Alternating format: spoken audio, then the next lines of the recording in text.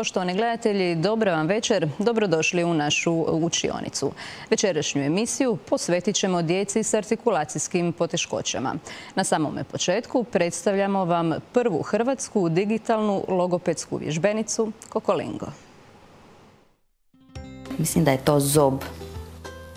Zob. Bravo! Logopedski tretmani za ispravljanje artikulacijskih poremećaja u predškolskoj i ranoj školskoj dobi u svakom domu mogući su uz aplikaciju Kokolingo. Ima više od 300 igara i aktivnosti što je čini idealnom i omiljenom za 18.000 zadovoljnih korisnika.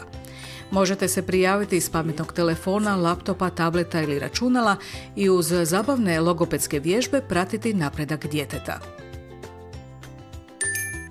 U cijevi je cigla. Svaka čast. Kokolingo smo pripremili ne samo za hrvatski jezik, nego i za poljski, američki, britanski, engleski sa logopedama iz tih zemalja. Tako da imamo zapravo tima logopeda koji pomažu da to bude stvarno super aplikacija i na drugim jezicima.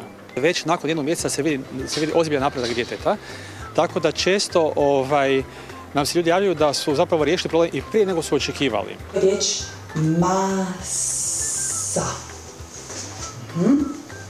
Vidiš kako nismo odmah zatvorili zubići? Teleterapijom mogu se obuhvatiti sva djeca bez obzira na udaljenost od logopeda, jer se putem aplikacije i video veze ostvaruje suradnja u njihovom domu. Aplikacija je vrlo jednostavno i intuitivno napravljena da ju roditelj može lako pratiti. Ona nije predviđena da dijete bude e, sam pred, samo pred aplikacijom, e, zato što je roditelj taj koji je sada naš zapravo najvažniji suradnik u cijelom tom procesu. Aplikacija je prvenstveno smišljena za djecu koje imaju izgovorne teškoće, no može pomoći i djeci koji imaju jezične teškoće. E, primjenjivala sam i kod djece koja mucaju i koji imaju teškoće u čitanju. Općina Jelenje prije više godina krenula je u rješavanje problema, a taj problem ne muči samo nas, nego i puno lokalnih e, zajednica u okruženju i šire, a to je e, logopedske usluge. Mi smo u suradnji sa Privatsko-Goranskom županijom pokrenuli jedan program vezan za logopediju, no međutim zbog kako je to deficitno zanimanje nismo uspjeli popuniti e, to radno mjesto i osigurati tu uslugu našim mještanima. Dok smo bili u potrazi za drugim rješenjima, evo tu se upravo pojavio Kokolingo. Na prvi smo prepoznali da je to ono što bi bilo dobro za naše mještane. Vrlo brzo smo dogovorili suradnju. Suradnja je krenula u srpnju 2023. Roditelji su zadovoljni, rezultati su odlični i mislim da je to bio odlična odluka i na zadovoljstvo obostrano kako mještana, općine, a tako i Kokolinga. Ja mogu toplo preporučiti da je program odličan, uspješan i kvalitetan. Nakon mjesec dana petogodišnja Karolina je uz Kokolingo postigla napredak u izgovoru pojedinih glasova, a aplikaciju smatra izuzetno zabavnom i veseli se susretu s gusarom i papigom. Prva procjena je bila jedan dan i u biti nakon tjedan dana mi smo dobili e, nekakav program koji traje mjesec dana i te vježbe su svakodnevne i sad one se prilagođavaju, tako smo mi zapravo nekako, jedan dan vježbamo duže, jedan dan kraće, kako tu paše zapravo, da ne forsiramo, ali znači kroz taj period mi prolazimo različite nivoje i nakon mjesec dana imamo novu teleterapiju gdje onda logoped provjerava koliko smo mi napredovali i tu dobivamo onda nove zadatke za idućih mjesec dana.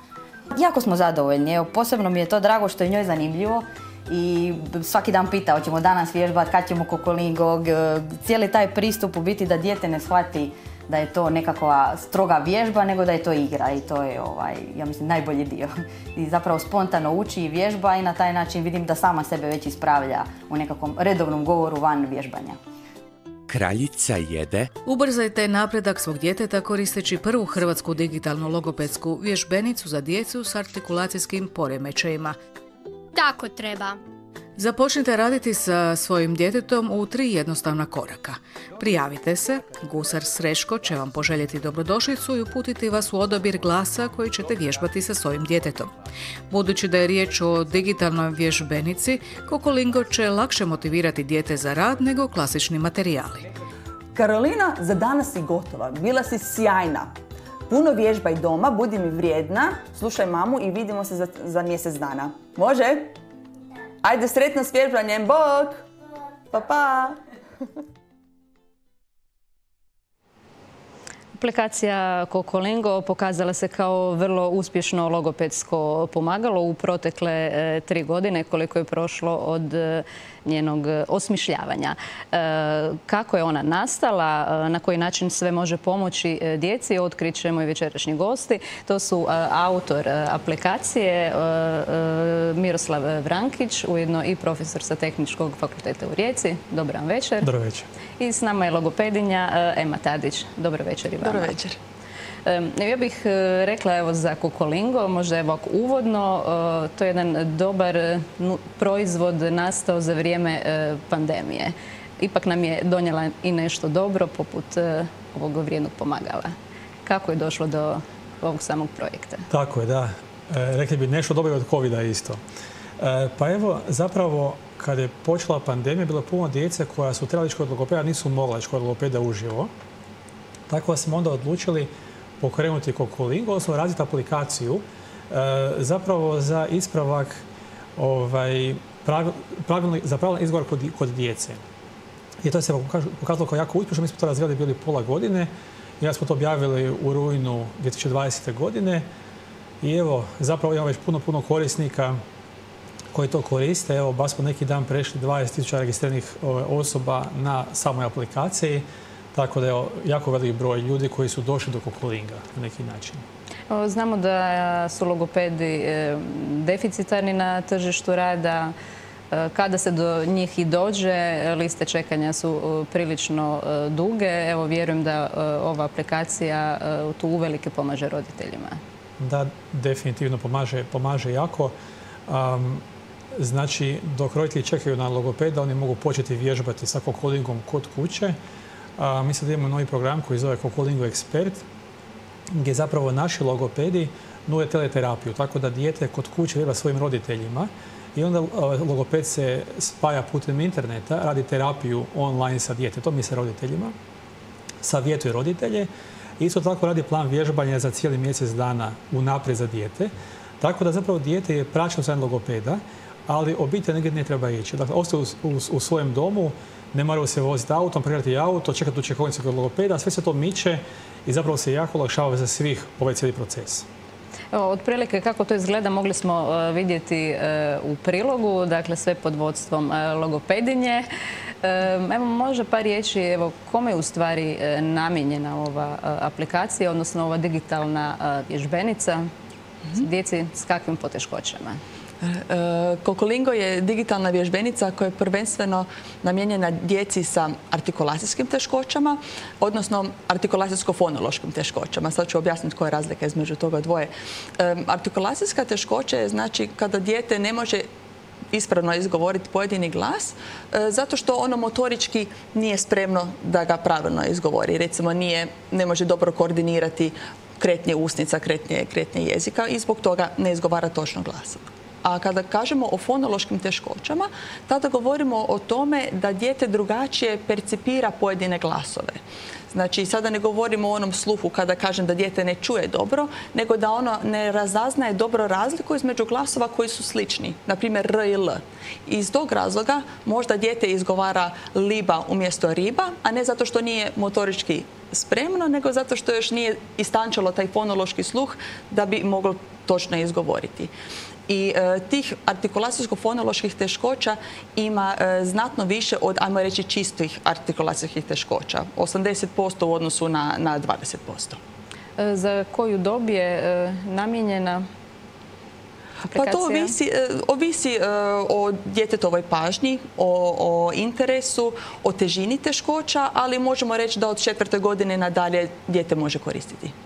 Je li to inače i neka dob kada se kreće u logopedske tretmane ukoliko postoji potreba? E, općenito za logopeda se kaže da nikada nije prerano. E, sad, sad se malo odmičemo od čistih artikulacijskih teškoća, zato što se kaže da do pete godine bi dijete trebalo usvojiti sve glasove točno. Ali, na primjer, ako K i G zamjenjuje glasom T i D, a ima već četiri godine, onda bi trebalo krenuti. E, ako se radi o komunikacijskim teškoćama, primjerice poremećaj spektra autizma, dobro je krenuti što ranije, može već i sa 18 mjeseci, tada se radi na nekakvim drugim stvarima. Tako da e, svakako je bolje otići kod logopeda ranije nego, nego kasnije. E, je li možda kokolingo od koristi djeci koja mucaju? Mogu, ja sam evo, kada sam u privatnoj praksi koristila uh, kokolingo, nisam ga koristila samo za artikulacijske teškoće, nego sam ga baš koristila evo i kod, kod djece koje mucaju, kod djece sa, sa teškoćama u čitanju, čak i kod djece koje su na poremećaju spektra autizma, naravno u svrhu ispravljanja artikulacijskih teškoća, jer je aplikacija takva da je motivirajuća i malo odmiče dijete, od onog svakodnevnog uobičajenog vježbanja e, imitirajući logopeda i, i čitanje iz slikovnice i sa papira. To ih uvijek onako podigne i motivira da dodatno još stisnu 15 minuta više. E, dakle, ova aplikacija e, djecu vodi na jedan tropski otok uz gusara i papigu koji drže konca u svojim rukama, evo da se tako izrazim. E, kako je zamišljena e, evo, ta vježbenica? Koja je njena struktura? Znači, da, neka, neka da, da bude jako zanimljivo. Jer same slogopske vježbe tipično dosadne i djeca ne vode doći doma i s nekog papira čitati i ponavljati neke, nekakve riječi i izraze. To je njima silno dosadno. Dosadno i nama odraslima. Tako da zapravo ovdje je bila ideja da taj nekakav logopedski drill koji sam po sebi mora biti da dijete uspije, svaki da mora vježbati, da bude jako zanimljiv. Tako, mi smo zapravo uveli neke e, elemente gamifikacije, odnosno igrifikacije, gdje zapravo elemente igre ubacujemo u aplikaciju za učenje. I samim time zapravo dijete ovaj, vježba, jako puno vježba, jako je motivirano, a zapravo ima osjećaj da igra igricu. Da. Evo, kroz to sve dijete vodi papigica Koko, koja animira lik koji zapravo ovaj, dijete pohvaljuje i potiče da vježba i dalje i Gustav Srčko koji je zapravo jedan glumac koji pokazuje što treba kako izgovoriti i kako se što vježba. A nakon toga, kad dijete više vježba, osvaja više i novčića, nekakvih zlatnika, nekakvih dragulja u aplikaciji i onda zapravo s tim novčićima može kupovati neke odine predmete za papigicu Koko, tako da obuče svoju papigicu kako ono želi. Tako da imamo djecu koji jako puno vježbaju jer hoće skupiti još novčić za svoju papigicu. Evo. E, postoji šest e, razina, ne smije se preskakat, treba ići po redu, upozorava papiga koliko. Tako je, da. Znači, svaki te otok, zapravo prvi korak je odabir glasa. Kad izberete glas koji hoćete vježbati, recimo R ili neki glas, onda zapravo počinjete raditi po otocima koji su sad puni vježbi, baza taj glas recimo R, koje vi sad recimo trebate vježbati. I onda ovaj, idete po redu. Naravno, idealno je da vam logoped da upute. To može biti naš logoped koji će se uputiti to što, treba vježbati ovisno o problemima vašeg djeteta. Ali recimo da se ide po redu. Treba biti strpljiv i temeljit, vježbati što više te neke ići korak po korak. Ali zapravo e, aktivnosti su zapravo raznolike. Počne se od nekih najjednostavnijih, od nekakvih predvježbi, od glasa u izolaciji, preko nekakvih logotoma, odnosno slogova sa recimo tim glasom, recimo glasom R, nakon toga riječi sa R, na početku, u sredini i na kraju riječi je glas R. I onda kasnije kad se to već izvježba, onda se ide na nekakve rečenice sa R i onda nekakve dulje rečenice od nekakve priče. Dakle, nekakav slijed gdje zapravo dijete napreduje i ide prema sve zahtjevnijim i naprednijim vježbicama. E, otprilike koliko je potrebno da se sve razine e, prođu. E, mi smo u prilogu doduše mogli i, čuti da je već nakon mjesec dana majka uočila pomake kod svog djeteta. Da, to je, moguće isključivo ako se e, vježba redovito. To se odnosi i na djecu koja uživo odlaze na klasične terapije i one koje su praćene u teleterapiji bez kontinuiteta nema napretka. E, idealno bi bilo 15 minuta dnevno, ali evo iz iskustva vlastitog, odnosno vježbanjem sa, vlastitim djetetom e, i 5 minuta je ponekad dovoljno ako je svakodnevno. Bitno je taj, taj kontinuitet da dijete uspije razbiti tu staru naviku pokrešnog izgovaranja glasa i konstantno ga prisjećati na onaj ispravan način. E, može li ova vježbenica zamijeniti e, logopeda, odlazak logopedu ili možda dok čekamo na red možemo li je primjenjivati? Da. Ona, ona e, ne može zamijeniti odlazak logopedu, niti je e, za to e, zbog, iz tog razloga osmišljena. Ovo što ste rekli, ako je, ako je roditelj na listi čekanja i čeka da mu se dijete uključi u, logopedsku terapiju, da pače može krenuti sa kokolingo vježbenicom, pogotovo zato što je prvi otok, uvodni otok, gdje će raditi takozvanu artikulacijsku gimnastiku, gdje će imitirati od gusara srećka pokrete jezika, ustica i zapravo će početi na vrijeme osvještavati kretnje tog svoga ovaj, jezika i ustica, što će mu kasnije onda i tekako dobro doći kada se uključi u terapiju. Također radi se na ovom dijelu, što sam prije spominjala, fonološko razlikovanje, gdje će uvježbavati razliku između slušno sličnih glasova. E, no ipak e, kada e, je riječ o kokolingu ne možemo reći da logopeda nema. Evo već ste spomenuli i, teleterapiju, nešto što se u svijetu već provodi možda i desetljećima. Evo kod nas možda tek od covid pa tako i u kokolingu. Znači vi imate također važnu ulogu, možemo reći nekog supervizora koji sve to nadgleda što se događa na otoku. Da, da, da, tako je. To je, evo, um, kao što je načelnik spomenuo, dosta dosta svježi projekt, jer od srpnja je krenuo i do sada smo izrazito zadovoljni kako, kako sve to uh, teče. Uh, radi se o tome da uh, ja ili, ili jedna od mojih kolegica jednomjesečno odradi teleterapiju sa, sa djetetom. Raspišemo detaljno plan idućih 30 dana što će dijete raditi. Uglavnom su to vježbe u E, Kokolingo aplikaciji, ali ako vidimo da je potrebno još dodati nekakve vježbice, recimo dijete će uskoro u školu, a ne izdvaja dobro prvi glas u riječima, na primjer ne zna da je P pas, onda mi dodamo još materijale i potičemo i sa te strane. I onda nakon mjesec dana ponovno se susretnemo online, vidimo dokle su došli sa vježbama, imaju li kakvih pitanja, e, provježbamo ponovno i krećemo u novi ciklus sve dok dijete nije spremno završiti sa, sa terapijom jer je uspješno usvojilo glasove. Evo vidjeli smo e, isto općina Jelenje prepoznala je e, kvalitetu ovoga projekta. Imali možda još zainteresiranih vrtića, ustanova koji muku muče sa logopedima? Joj da ima ih jako puno. Zapravo to je nekako, ovaj, tu očekujemo pomoć lokalne zajednice primarno. Dakle, mi se razgovaramo sa raznim gradovima i općinama koji bi to isto podržali. E, neki su već i prepoznali, tako da je vjerujem da će grad Rijeka uskoro krenuti u taj projekt. Nešto i ovaj, sa županijom u planu isto, s našom Primorsko-Goranskom. Tako da evo zapravo, evo, ipak smo, naša tvrtka je iz Rijeke, nasla je na znanstveno tehnologskom parku u Rijeci, dakle kod učilišta. I evo, lijepo je zapravo vidjeti kako je prepoznato to i u lokalnoj zajednici, kod nas u našoj županiji, u našem gradu i kako zapravo to širi dalje po cijeloj Hrvatskoj. Ali i izvan e, Hrvatske, Kokolingo ima svoje verzije i na stranim jezicima. Tako je, da. Znači, nakon Hrvatskog smo napravili prvo za poljski jezik, sad imamo logopeda u Poljskoj, a nakon toga smo krenuli na američki, britanski i engleski, tako da već pa neke godinu i pol dana imamo zapravo ovaj, Kokolingo dostupa i na tim jezicima.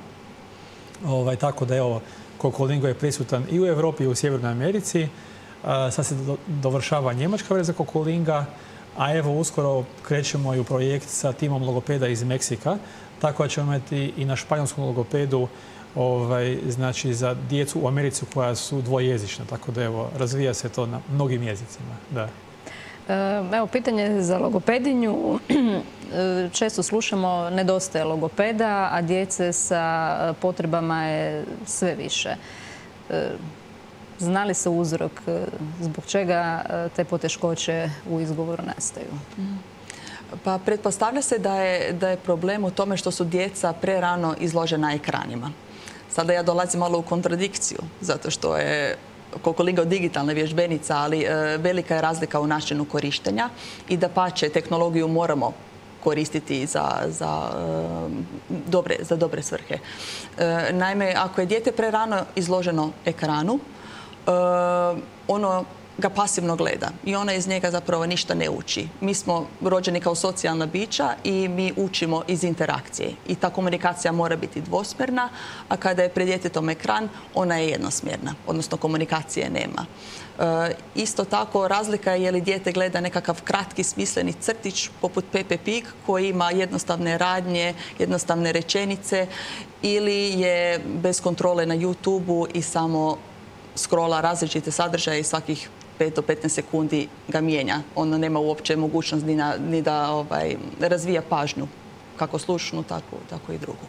Dakle, e, digitalne e, tehnologije da, ali pod nadzorom e, roditelja. U ovom slučaju važna je naravno uloga roditelja koji će poput papigice koko bodriti dijete. Mhm. Tako je, da, roditelj je nama tu zapravo najvažniji saveznik. On mi podrazumijeva se da je, da je uz dijete i roditelj koji će ga voditi, koji će ga kontrolirati i to je na kraju aktivnost koja traje 15 minuta i kontrolirana je, tako da je svakako je, pozitivna. E, evo, gospodine Vrankić, moram istaknuti, s obzirom da ste nam došli u našu učionicu e, i reći da ova aplikacija Kokolingo e, nije jedino što ste osmislili za, širu zajednicu. Tijekom vašeg rada na našem tehničkom fakultetu i za vas su evo, brojni brojne inovacije, e, izumi. E, svi su oni nekako e, nastali s ciljem da pomognu ljudima s poteškoćama, osobama sa invaliditetom. Kako je u stvari krenula evo ta, ta vaša priča, taj put pomaganja? Da, ovaj, pa evo ja sam zapravo cijeli svoj radni vijek na fakultetu. Ovaj, evo već sam preko 20 godina na tehničkom fakultetu u Rijeci a prije nekakvih 15 godina sam nekako poželio da sva tehnička znanja spoji sa nekakvim i pomagajem ljudima. Nisam znao šta, bi to bilo, pa sam krenuo volontirati. Volontirao sam bio u Caritasu u Rijeci i zapravo sam došao na ideju za razvoj jednog sustava za upravljanje kućom pomoću govora koji se zvao Servus. Tako da osobe koje ne mogu ništa sa svojim tijelom, a govoriti mogu, da mogu pomoću govornih komandi recimo otvoriti vrata, nazvati pomoć, upaliti televizor i tako nešto. To je pokazalo kao jako velika korisna stvar. Naravno, fakultet ovaj, nije mjesto gdje se može stvari proizvoditi i distribuirati dalje, više je za osmišljavanje i za razvoj, ali ne za ovaj drugi dio. Tako da zapravo na step na Tehnološkom parku u Rijeci sam pokrenuo tvrtku koja je bila prva u inkubaciji tada ovaj, 2009. godine koja se zove e-glas, kao elektronski glas, koja zapravo bavi pomaganjem osobama s invaliditetom uz pomoć moderne tehnologije. I sad nije stalo na Servusu. Servus je vrlo stari proizvod već, ima ga već 15 godina skoro. Um, u međuvremenu smo razvili dosta tih nekih pomagala, primarno softveri za djecu s teškoćama u razvoju, kao Kokolingo, kao ABC Maestro, koje je zapravo za učenje tipkovnice, tipkanja, pisanja i čitanja. Nakon toga mala banka za djecu rane školske dobi za vještine upravljanja novcem i matematike. A evo najnoviji proizvod koji smo predstavili ovaj, na sajmu u Njemačkoj prije mjesec dana zove se Sandcastle, odnosno senzorni dvorac. Radi se o tome da zapravo danas imamo jako puno potreba za senzornom terapijom i tipičan element te terapije je senzorna soba, koja je zapravo jedan prostor koji je cijela soba, koja prenaša jako puno skupe opreme. Mi smo pokušali ovaj, zapravo smanjiti trošak senzorne terapije, tako da cijeli prostor od jedne sobe smanjimo u jedan manji prostor 2 sa 2 metra, mi ga zovemo senzorni dvorac, Sandcastle, koji omogućava da zapravo terapeut radi u tom manjem prostoru, ali postiže jako puno jer je zapravo prepun e, funkcionalnosti koje su baš potrebne za tu terapiju.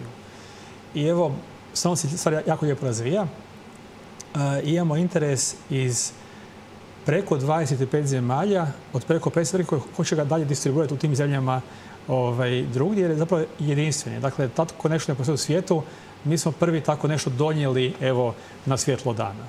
E, kakav je interes evo, u, našem gradu, u našoj državi za tim senzornim dvorcem? pa interes je dosta velik. Sad jasno treba ljudi skupiti novce da to isfinanciraju i tako ali interesa ima. Evo već e, par škola je dobilo, jedna u Osijeku, jedna u Zagrebu, tako to polako kreće.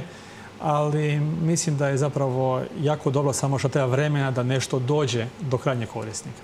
Evo, ja vjerujem da hoće. E, kao što su evo i e, vaši studenti došli na vaš kolegi koji ste osmislili, oprostite, vaš kolegi asistivne tehnologije. Dakle, i oni na neki način kroz taj kolegi pomažu svojoj lokalnoj zajednici. Pa zapravo to je ta ideja kad sam pokrenuo e-glasi, kad sam ušao u taj svijet asistivne tehnologije, onda sam poželio neka znanja vratiti natrag na fakultet, na moj fakultet. Tako da trenutno naši studenti na studiju, diplomskom studiju računarstva i elektrotehnike ovaj, imate kolegij. S tim da malo drugačiji nije tipičan kolegij. Jer naši studenti tamo uče e, tako, kroz service learning, odnosno učenje kroz pomaganje u zajednici. Dakle, naši studenti rade besplatno unikatna pomagala za razne osobe s invaliditetom i razne centre u Rijeci i okolici, gdje zapravo kroz tu interakciju sa budućim korisnikom kad čuju što njima treba, što ih muči, pokušavaju nešto novo osmisliti i to onda razviti. Dakle, to je jedno nemjerljivo iskustvo učenja na praktičan način sa živim korisnicima kojima to sve treba. Tako da imaju zadovoljstvo i pomaganja ljudima, ali i učenja o toj tehnologiji. Evo, vjerujem da u svemu tome što radite, važna vam je pomoć ostalih struka, kao na primjer logopeda. Definitivno, da. E, sudjeluje možda evo, logopedi u nekim spomenutim e, projektima uz možda edukacijske rehabilitatore i ostale stručnjake? Definitivno, oni su zapravo glavni, glavni, zapravo slušamo struku i što njima treba, pa evo ja možda možeš malo više reći onda o toj suradnji. E, da, da, evo sad je e dobio pojačanje logopeda, sada smo ovaj, tri, tri zaposlene tamo i stalno radimo na usavršavanju kokolinga i, i ovaj, osmišljavanju drugih, drugih potreba za, za djecu sa teškoćama. E, I e, mogu iz svoje perspektive reći da mi je e, prekrasno osvježenje raditi u takvom jednom pravom multidisciplinarnom timu za razliku od vrtića gdje vi radite više manje sa sličnim strukama, psiholog, edukacijski rehabilitator, pedagog, logoped. Mi smo svi humanisti, radimo slične stvari, ali je puno drugačije kada vi dođete u dijalog sa, sa programerom, sa informatičarom eh, i onda eh, krećete zaista u, u razvijanje nečeg novog. Pred vama se vjerujem još brojni izazovi. Nadam se da ćete nastaviti tim putem kako bi evo, pomogli svima onima kojima je pomoć potrebna evo, kroz digitalne tehnologije. Hvala vam lijepa na dolasku u našu učionicu. Hvala i vama. Hvala vama. mi sada nastavljamo dalje. Naime, prošloga tjedna uspješno su okončani drugi po redu dani e, karijera na e, Riječkom e, sveučilištu. Središnja aktivnost bio je sajam poslova koji je okupio i brojne studente i brojne poslodavce.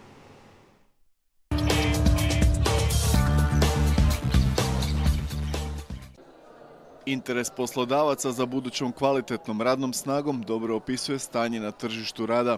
Čak 30 poslodavaca ostalo je na listi čekanja za prezentaciju na ovogodišnjem sajmu poslova na kampusu Sveučilišta u Rijeci potencijalni poslodavci prepoznaju koliko je važno na vrijeme doći do studenata, do kvalitetnih mladih ljudi, odgovarajućih kompetencija i na neki način prepoznajem uistinu među onima ovdje pravu kremu, da tako kažem, ljudi koji promišljaju uspješno svoje tvrtke i znaju da ona počiva na ljudima, odnosno na dobro educiranim studentima.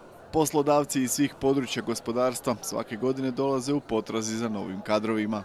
Petu godinu nizu smo na Career Daysima koji se pokazuju stvarno kao jedna lijepa platforma za privlačenje novih kandidata, za scouting talenata, slobodno mogu reći, pogotovo mi iz STEM područja gdje smo stvarno u velikoj potrazi za novim talentima, za novim kadrovima i nadamo se da će i ove godine proći veoma uspješno. Promijenila su se vremena kada su studenti obilazili sa životopisima potencijalne poslodavce i tražili poslove. Nekako se nadam da će mi sam fakultet pokušati prikazati na kojem sve sektore bi se mogao zaposliti, pogotovo s ovom informatikom, kada, pošto bi taj sektor trebao biti u rastu, pa ne znam, studij sam birao tako da pratim novce, tako da bi vjerojatno i oni nama trebali e, reklamirati Studenti ovo vide kao dobru priliku da počnu promišljati o svojoj budućnosti već na početku svog akademskog puta. Prvenstveno došao sam vidjeti kakve se mogućnosti pružaju nama mladima. Mislim da je odlična mogućnost da se istraži e, za vrstu karijere, na primjer za inženjere, za građevinski i tako to. Mislim da je dobro iskustvo popričati s ljudima, vidjeti kakvi poslovi se nude, što oni od nas zapravo traže i vide kakve su nam prosperiteti u budućnosti. Cilj organizatora i partnera Dana karijera je ostanak kvalitetnog kadra u Rijeci. I nadam se da svi oni studenti koji su e, ovdje na sveučilištu, neovisno o tome da li su iz Rijeke e, ili dolaze iz susjednih županija ili zemalja, će pronaći svoj posao, zasnovati obitelj i riješiti svoje stambeno pitanje u Rijeci i istinski postati riječani. Dani karijera održavaju se uz podršku alumni unijeri i mreže bivših studenata koji su našli zaposlenje i sada dijele svoja iskustva i izazove na koje su nailazili. Kažemo, jako to možda naši studenti ne doživljavaju na isti način, da su oni sretne generacije, jer uistinu potreba za radnom snagom ovog trenutka u Hrvatskoj, ne samo dakle PGŽ, ne samo Rijeka, ne samo Hrvatska, nego i šire je ogromna. Mi njima poručujemo ostajte ovdje, e, vjerujemo da su oni naš intelektualni kapital. Svjesni su studenti stanja na tržištu, no ne vjeruju dok ne osjete na svojoj koži ili novčaniku koliko ih cijene. Za početak očekuju da ih sveučilište učini konkurentnim na tržištu rada. Na neki način e, naše nove generacije, kažemo generacije Z, su generacije koje od svojih sveučilišta uistinu očekuju puno više nego što je to nekada bilo. Očekuju da ih savjetujemo, da im pomognemo, da ih učinimo uistinu konkurentnim budućim e, tražiteljima, tražiteljima posla. Što se tiče posla, studenti su tako od lovaca postali lovina, a toga su i svjesni. Moj IT sektoru mislim da je tako stanje, za ostale ne znam. Mi se nadamo da će tako biti, ali ono, čujemo i dalje neke horor priče da neki ne nađu zaposlenje, ali nadamo se da je to na, u njima problema, ne u poslodavcima.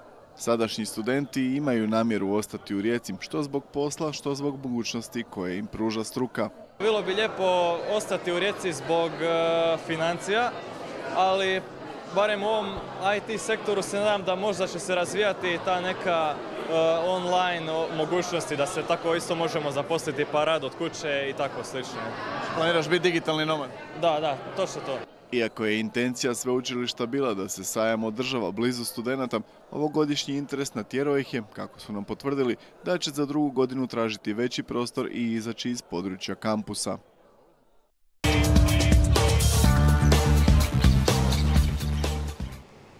U osnovnoj školi Nikola Tesla u Rijeci otvoreni su dodatni jaslički kapaciteti.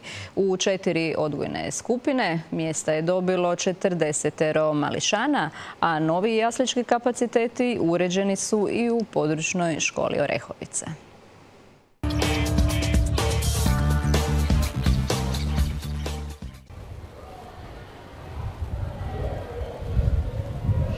Ovo su nove jaslice smještene u južnom i zapadnom dijelu prizemlja osnovne škole Nikola Tesla, ukupne površine gotovo 358 metara kvadratnih.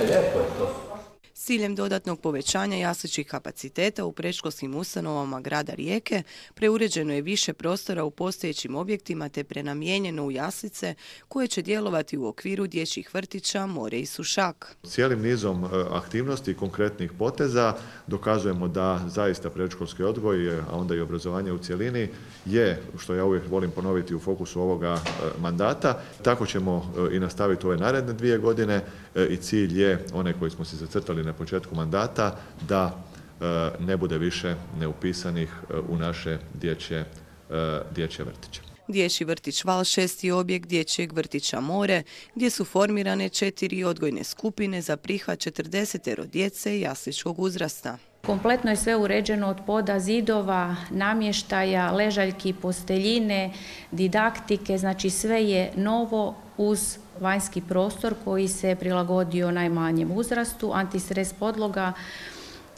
pomagala, igrala, multifunkcionalne sprave, znači sve za naše najmlađe. Novi jaslički kapaciteti uređeni su osim u prostoru osnovne škole Nikola Tesla i u područnoj školi Orehovica te u sklopu vrtića Galeb.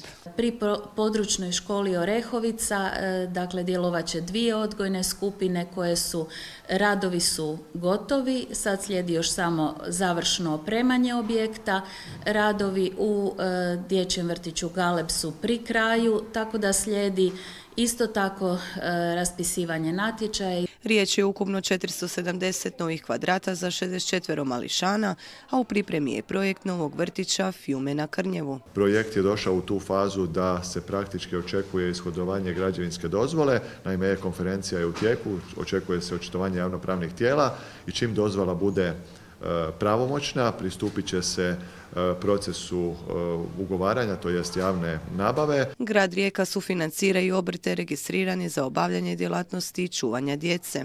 Trenutno na području grada Rijeke djeluju 24 obrta i 84 djece je uključeno u program dadilja i taj program e, ne želimo ukinuti sve dok ne riješimo ove kapacitete što se tiče vrtića da svako naše dijete ide u vrtić. Ove godine značajno je povećana i subvencija za smještaj djece u vrtićima drugih osnivača gdje e, jasličko dijete roditeljima pomažemo sa 260 eura, a 200 eura za svako vrtičko dijete. Tamo je uključeno nekih 500 djece s područja e, grada Rijeke u vrtiće drugih osnivača, imaš 100 slobodnih mjesta. Otvaranjem novih dječjih vrtića otvorit će se i nova radna mjesta, a potpisom kolektivnog ugovora povećane su i plaće zaposlenika.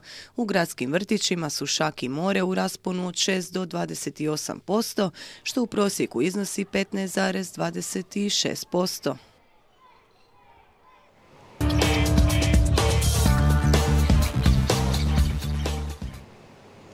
Naša večerašnja učionica pomalo se bliži svome kraju. Mi ćemo biti s vama svake srijede, pa tako i sljedeće. A prije nego što se oprostimo za večeras, skoknut ćemo do ugostiteljske škole Opatija, koja je nedavno završila veliki europski projekt RCK Recept. E, što je projekt donio školi, odnosno što će tek donijeti novim generacijama i lokalnoj zajednici, doznali smo na završnoj konferenciji projekta. Završnom konferencijom projekta RCK Recept, regionalni centar profesija u turizmu, ugostiteljska škola Opatija proslavila je dan škole i 94. obljetnicu rada. Kroz brojne provedene aktivnosti, projekt je školi donio više struke dobiti. Projekt je donio mnogo u ugostiteljskoj školi Opatija, prvenstveno e, njenim učenicima. Donio je nove programe, kako redoviti program obrazovanja, tehničar posluživanja, to je četverogodišnje zanimanje, na razini 4.2 po Hrvatskom kvalifikacijskom okviru, te je donio razvoj novih programa u segmentu obrazovanja odraslih, kako formalnih, tako i neformalnih. Donio je također i opremanje škole e, suvremenom modernom opremom koja će e, ublažiti tu tranziciju iz škole prema, prema tržištu rada, te je također donio edukacije nastavnika koje su evo sada kompetentni za prenositi najnovija znanja svojim učenicima. 8 milijuna eura bespovratnih europskih sredstava školi je omogućilo izradu kurikuluma za novi četverogodišnji smjer tehničar posluživanja, kojega je ove školske godine upisala prva generacija. Ovo novo zanimanje tehničar posluživanja smo radili na njemu zato što je, kao što i sami znate, to se kroz medije stalno provlači, da je zanimanje za upis konobara strahovito pao ne samo kod nas u Hrvatskoj nego i diljem Europe i mi smo htjeli uvesti novo zanimanje koje će biti četverogodišnje, koje će privući djecu jer njima je to njima i njihovim roditeljima e, najveća stvar.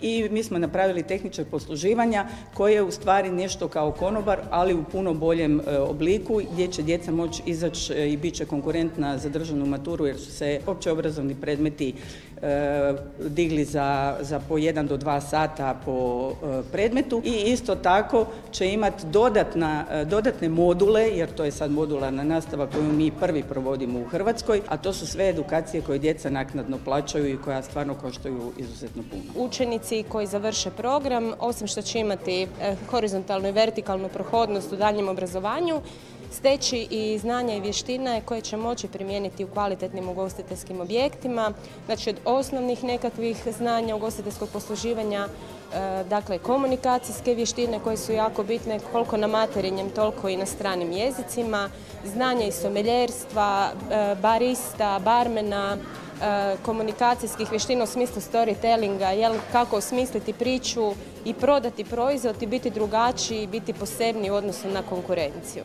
Projekt je najviše donio učenicima. Istaknuto je na konferenciji nazvanoj Impuls za izvrsnost. Nije stvoren samo novi kurikulum, već i suvremeni pristup u strukovnom obrazovanju.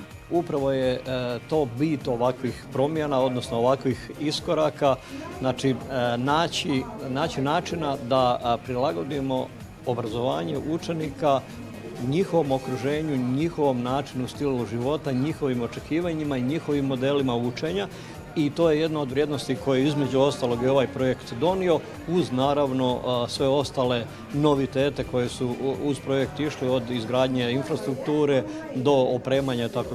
dalje. Laura i Ana svoje srednjoškolsko obrazovanje privode kraju. Zadovoljne su jer je škola ispunila sva njihova očekivanja. Išla sam na jako puno natjecanja, u školi se dogodilo jako velike promjene, tako da vidi se veliki pomak. Obje zgrade su se renovirale, dobili smo nove učionice, pametne ploče te one VR naočale, pomoću kojih nam je omogućena simulacija e, radnja na praksi. Ono što ne možemo vidjeti u stvarnosti, pa nam to pomaže u virtualnoj. Ja sam jako zadovoljna sa ovom ugostiteljskom školom. Ovo je nešto što me zanima od malena, e, te sam zato i upisala ovo. E, u budućnosti se želim baviti ugostiteljstvom jer i turizmom. Možda bih upisala fakultet u IKI, te nakon toga ću vjerojatno otići u Valamar, odraditi dve sezone jer imam njihovu stipendiju, te nakon toga ako budem u mogućnosti otvoriti svoje nešto i baviti se ugostiteljstvom. Ugostiteljska škola Opatija škola je po mjeri učenika, sadašnjih, budućih, ali i bivših, odnosno odraslih. U sklopu projekta razvijeni su programi obrazovanja odraslih te stjecanja mikrokvalifikacija. Teme su prilično šarolike, dakle pružaju se mnoge mogućnosti, dakle i u području kuharstva, ugostiteljskog posluživanja, rukovođenja, dakle, ali i jezicima. Ono što je možda tu recimo onako simpatično je ta jezična čajanka gdje možemo te naše kočnice i barijere u komunikaciji na stranom jeziku razbijati jer nije klasično učenje stranog jezika nego kroz neko neformalnu, neobaveznu komunikaciju. S obzirom na veliki udio stranih radnika u turizmu i ugostiteljstvu, škola provodi i programe učenja hrvatskog jezika i povijesti za strance. Kad smo to pripremali prije godinu i pol ili dvije, mi uopće nismo bili svjesni što će se dogoditi i koliko će to biti sad aktualno. Ovo su sad radionice po 12 sati i nakon toga ćemo vjerojatno imati dalje možda sa više, sa više sati, ovisno o interesu. Međutim, situacija je takva da ne samo u ugostiteljstvu, nego uopće svuda oko nas su ljudi, a mi tako je koncipirano da imamo neke najosnovnije temelje e, pismenosti, gramatike, e, službene komunikacije, neke svakodnevne situacije, tako da mislim da će to biti vrlo zanimljivo za polaznike. Velikim i zahtjevnim projektom RCK receptom postignut je značajan iskorak u modernizaciji strukovnog obrazovanja, čemu je prethodila edukacija nastavnika. Nastavnici su se educirali e, što iz digitalnih kompetencija, također su imali priliku i putovati po cijeloj Europi, educirati se na specifičnim tečajima. Evo samo brojka da smo imali blizu 580 mobilnosti, odnosno edukacija pojedinačnih nastavnika govori dovoljno samo za sebe. Postojala je mogućnost educiranja, mogli smo birati edukacije u različitim smjerovima, dakle sve ono što se tiče recimo našeg nekog područja u kojem predajemo, u kojem radimo. E, znanja koje smo stekli na tim edukacijama možemo implementirati u samu nastavu i to smo već počeli raditi. Glavni cilj projekta bila je popularizacija ugostiteljskih zanimanja. Zato što su i naši učenici koji su bili na mnogobrojnim natjecanjima prenijeli svojim prijateljima kako to u ovoj našoj školi izgleda i e, upisnost je puno bolja ove godine nego prošle. Ove godine imamo 350 učenika dok smo recimo prošle godine imali 312. Ugostiteljska škola Opatija bila je nositelj projektnih aktivnosti koje je provodila s partnerima, a među njima je bila i trgovačko-ugostiteljska škola Karlovac. Vrlo smo slični u toj provedbi projekta jer smo i mi i vi gradili ili adaptirali nekakve naše objekte u koje će se škole onda dodatno proširiti, ali ono što je najbitnije i što nam je najveći nekakav rezultat koji nosimo iz ovog projekta je što su se nastavnici naši imali prilike upoznati i, i odlaziti na nekakve edukacije koje stvarno im inače mi kao škole ne, ne bi mogli priuštiti. Projekt je u konačnici mnogo donio i široj lokalnoj zajednici. Što je važno reći da smo ovdje radili sa gospodarstvom, znači da implementiramo znanje i struku i da radimo strukovno unapređenje znanja. I to je ono što je važno, tu se uložilo u kompletnu opremu u obnovu objekta i za kvalitetu rada naših učenika i nastavnika. Opatijska ugostiteljska škola je jedna od e, najkvalitetnijih već desetljećima u Hrvatskoj i šire i e, tome se doći i brojna njihova postignuća i nagrade, pa tako i ovaj projekt Grad Opatija se naravno ponosi tom tradicijom i e, zadovoljni smo da su uspješno završili projekat i da će u našem gradu osim strukovnog obrazovanja provoditi programe cjeloživotnog učenja. Danas je e, dosta teško pronaći dobrog radnika u ugostiteljstvu i u turizmu, zato nam je e, drago da upravo učenici ugostiteljske škole sigurno neće imati problem sa zapošljavanjem nakon završetka svog školovanja. Ugostiteljska škola Opatija već gotovo puno stoljeće uživa ugled jedne od najkvalitetnijih ustanova iz koje su izlazile generacije stručnih konobara, kuhara i slastičara te turističko-hoteljerskih komercijalista. Zahvaljujući ovom projektu, recept za daljnji uspjeh je zajamčen i u stoljeću koje slijedi.